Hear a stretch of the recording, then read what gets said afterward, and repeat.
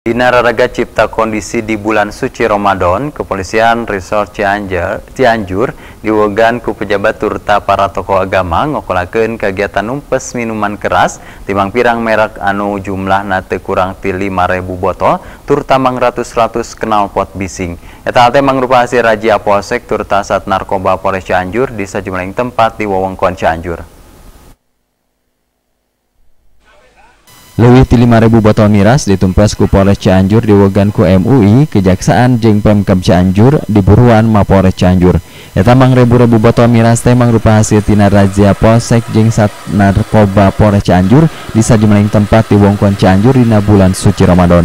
Lianti miras mang ribu-ribu botol, 700 knalpot bising jadi tumpas ku cara dipotong makera gaji besi. Eta knalpot bising teh dicangking ku Satlantas Polres Cianjur salila operasi lodaya 2020 tilu.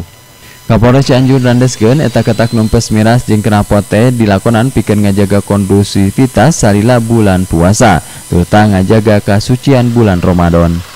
Kegiatan-kegiatan yang kita laksanakan dalam rangka kondisi bulan Ramadan yang uh, insya Allah kita akan sama-sama uh, ikuti kemudian hasil juga pada hari ini kita juga memusnahkan beberapa knalpot bising yang uh, berhasil kami amankan.